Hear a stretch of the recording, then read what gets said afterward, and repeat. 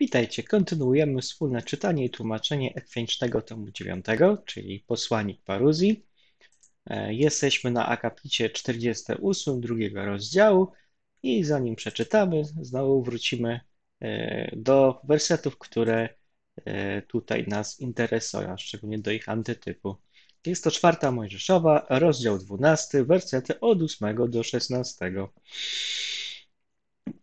Z ust do ust mówię do niego, jawnie, a nie w zagadkach. On ogląda postać Pana. Dlaczego nie baliście się mówić źle przeciwko memu słudze Mojżeszowi?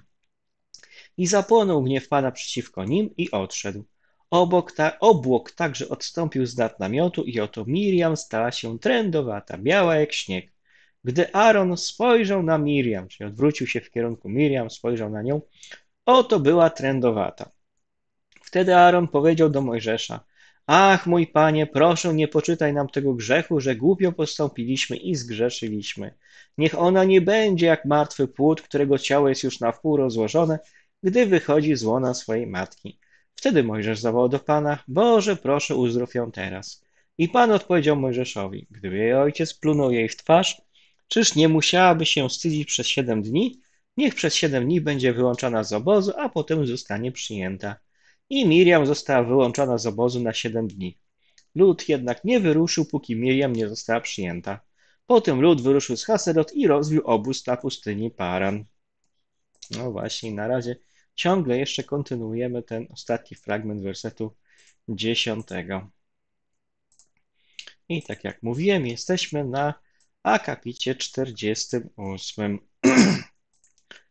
I jest to szczególnie prawdziwe to jest przerażenie antytypicznego Arona na widok e, prawdziwego stanu antytypicznej Miriam, e, gdy oni zauważają jej błędy w doktrynie i zła w postępowaniu, które ci, którzy są wprawdzie epifani, no to rozumieją, że to są, że oznaczają one nieczystość wielkiej kompanii, no a ci, którzy nie są wprawdzie epifani, no to tego nie zauważają, chociaż też widzą te błędy w doktrynie i zła w postępowaniu.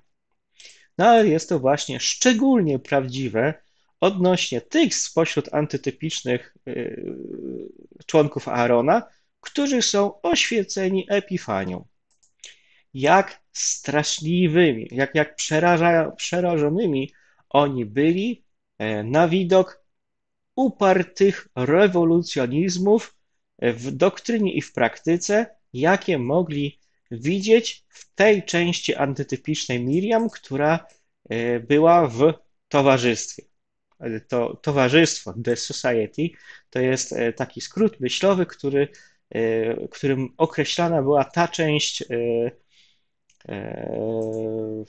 badaczy Biblii, która pozostała przy J.F. Rutherfordzie po śmierci brata Russella, gdy tam się to E, porozłączała w różne strony, a ci, którzy zostali przy Rutherfordzie, przy towarzystwie właśnie, e, e, przy towarzystwie Strażnica i później się stali świadkami Jehowy po kilkunastu latach. No ale jak przerażeni oni byli, ci oświeceni Epifanią, na widok tych właśnie upartych rewolucjonizmów w doktrynie i w praktyce, jakie mogli wśród nich widzieć. I to samo jest prawdą odnośnie tych, e, którzy byli e, częścią antytypicznej Miriam w PBI, czyli w Pastoralnym e, Biblijnym Instytucie, czyli w części, że tak powiem, no, w, in, w innej części, która, która się tam odłączyła, która wzięła tę, tą właśnie organizację, którą utworzył pastor Russell i tam sobie nią zarządzała i która twierdziła, że oni są teraz tymi faktycznymi kontynuatorami jego nauk. To samo w BSc, czyli w Komitecie Studentów Biblijnych, czyli jeszcze innej właśnie takiej grupie, która też oczywiście uważała się za tych faktycznych e, kontynuatorów e, pastora i tak dalej. Oraz e, to samo jest prawdziwe odnośnie wodzów w pozostałych blisko 60 grupach lewitów. No, ponieważ e, tak Biblia mówi, że, że, że, że po śmierci pastora Rosela, to tam e, tych grup lewitów, którzy mieli być różni z różnych punktów widzenia, miało być 60. E, i już byli widoczni w czasie pisania tego tomu, to już ich było blisko 60 widoczne dla pastora Johnsona, który jest autorem tego tomu. Ich zbijanie prawdy i bronienie błędu oraz ich zbijanie, odrzucanie zarządzeń pańskich i wprowadzanie innych, innych zarządzeń w ich miejsce z pewnością przeraziły antytypicznego Aarona. I to nawet pomimo, iż on także nie był całkowicie e, nieskalany, czyli pozbawiony winy e, podczas okresów paruzji i epifanii w tych e, zakresach. Czyli on też był częściowo winny. Ta część antytypicznego Aarona rozpoznawała faktyczną sytuację. Chociaż podczas Epifanii e, pisarz, czyli autor tego tomu, oraz niektórzy z innych kapłanów nie byli włączeni w antytypicznego Aarona, no to i wszyscy z nich byli przerażeni ze względu na sposób postępowania antytypicznej Miriam.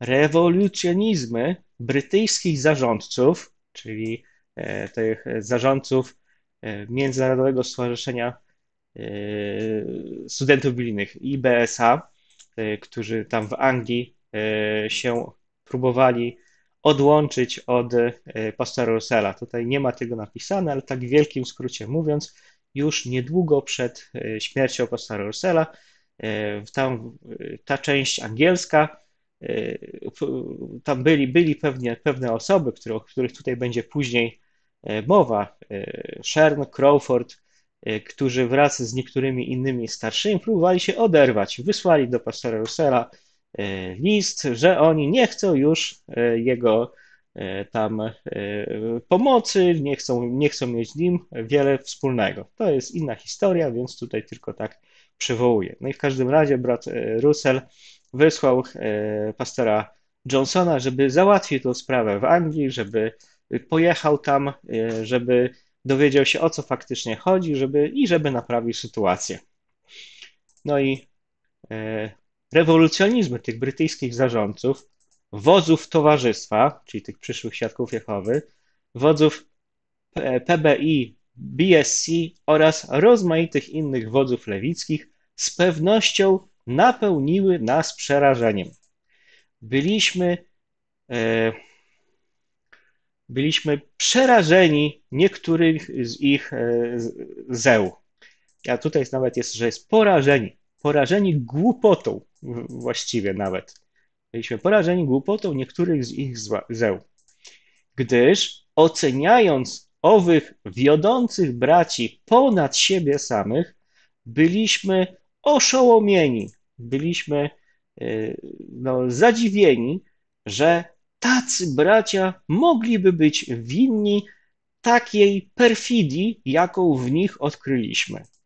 I to przerażenie bardzo mocno przyłożyło się, e, mm, dołożyło się e, do, albo sprawiło, i to przerażenie bardzo mocno przyłożyło się do naszego ostrego potraktowania niektórych spośród nich. Na przykład H.J. Sherna właśnie, tego, o którym mówiłem, Williama Crawforda, Jesse Hemeriego, który był trzecim z tych zarządców, ale który troszeczkę inne miał, inną miał agendę, że on na początku był sekowany przez Sherna i Crawforda i w związku z tym współpracował z, z pastorem Johnsonem, ale gdy ten wyjawił, jakie zło oni, oni prowadzą, no to Hemery pomyślał, aha, i, i, i przywrócił Hemeriego na jego właściwe stanowisko, no to ten postanowił się zwrócić przeciwko Johnsonowi i sobie przejąć władzę dla siebie. Też tak w wielkim skrócie historia.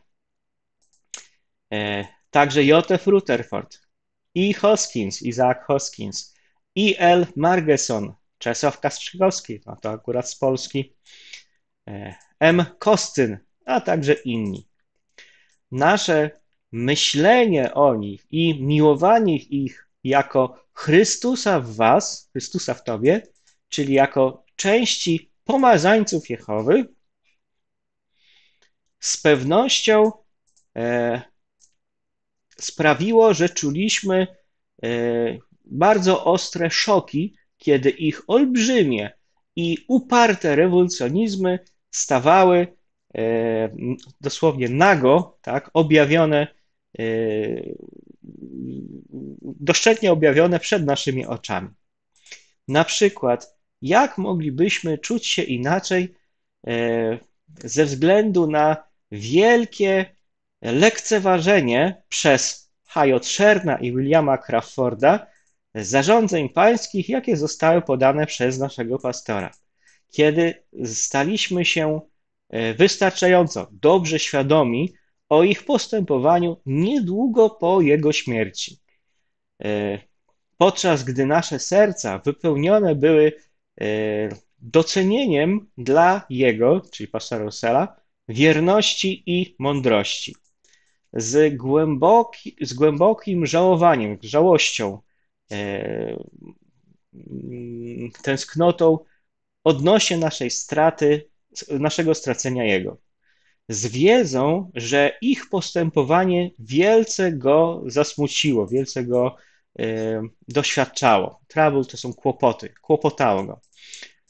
Szczególnie podczas ostatnich sześciu tygodni, czyli ostatnich sześciu tygodni jego życia i z determinacją, żeby zachować go w miłosiernej pa pamięci jako wiernego podczas gdy był w ciele, a od czasu opuszczenia przez niego ciała pośród największych ze zwycięzców chwale, naturalnie, że byliśmy przerażeni.